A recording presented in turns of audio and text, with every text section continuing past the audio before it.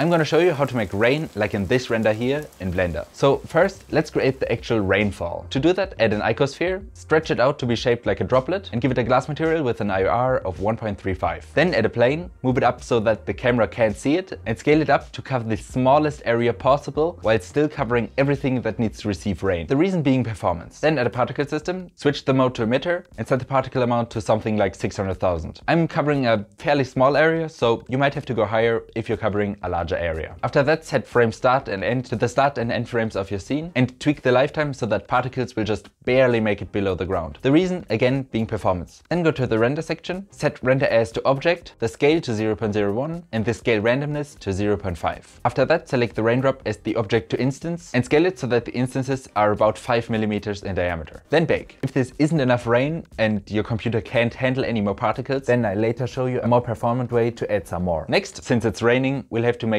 all materials in the scene look wet. So first, I multiply the roughness with the noise texture, and to make it look wet enough, you'll have to multiply the result of that by 0.2. In my opinion, that still doesn't look quite right. So lastly, you'll also want to go into the coat section, slide the weight to 1, and set the IOR to 1.35. And that looks very wet. So let's move on to adding some heavier liquid buildup. But before we do, if you don't want to create any of the following two node setups, and also want a geometry node setup that creates the rainfall from the first step much more easily, then they're available on my Gumroad. Link in description. But let's get back to the liquid buildup. So duplicate the ground and subdivide it heavily. Make sure to delete any part of this object that the camera can't see because the high resolution will again be quite the performance challenge. Then go to the geometry nodes workspace and create a new setup. After that add a set position and position node. Then add a Voronoi texture and set the detail to 1.4. Add in a noise texture set the scale to 1.42 and plug the Voronoi texture into the vector of the noise texture. This will give us a nice ripple shape, especially once we pass it through a color ramp set to ease, which you'll want to tweak like this. Lastly, plug it into the Z socket of a combine XYZ node and plug the result of that into the offset socket of the set position node from earlier. To control the height of the ripples, just add another multiply node in between the color ramp and the combine XYZ node, which I found multiplying by 0.01 gave the best results. The problem now is that while we have a nice ripple, it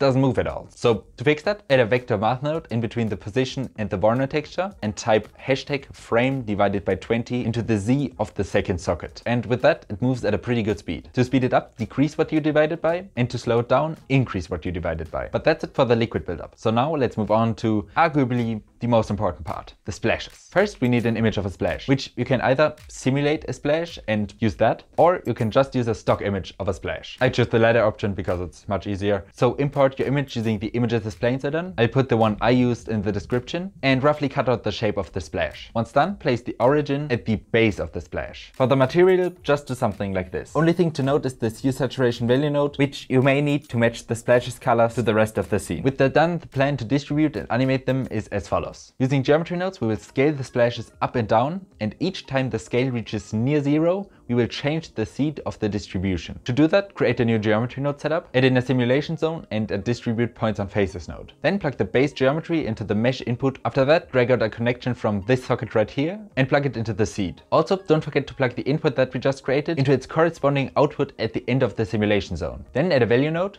plug it into the density and set it to something like 4.5. This can be tweaked later on to match the amount of rain. Then to instance the splash model on those points, we'll have to add in an instance on points as well as an object info node. In the latter, just select the splash and plug the geometry output into the instance socket. Then, of course, also plug in the points as well as outputting the result of the instance on points node at the end of the simulation zone. And with that, let's work on animating the scale up and down. So add a math node, plug the top socket into the simulation zone input and the result into the simulation zone output. Then add another value node, set it to 2 and plug it into the bottom socket. After that, add another math node, set it to sine and plug in the output of the first math node. Then plug the output of that into the scale socket of the instance on points node and multiply it by 0.05. Then you'll want to adjust it until the splashes are about 15 millimeters high. And now if we hit play, they splash up and scale down nicely. So now we can move on to changing the seed every time the old splashes disappear. To do that, add in a compare node and set it to less than. Then plug the output of the sine into the A socket and set the B socket to 0.05. After that, add a switch node, plug the output of the compare node into the switch, set the false to 0 0 and the true to 1. Lastly, add a math node in between the seed simulation zone input and output and plug the result of the switch node into the bottom socket. And finally, the splashes switch position. Problem though, they're completely synchronous. So to fix that, select the entire simulation zone and everything within it and create a node group by pressing Ctrl G. Then plug the input for the sine wave thing, this input here, into the group input to be able to tweak it later on. This is important so that we can offset the scaling up and down motion and make it appear more random. Also plug that same node group input into the seed starting point of the simulation zone. Furthermore, I would recommend naming all the inputs, but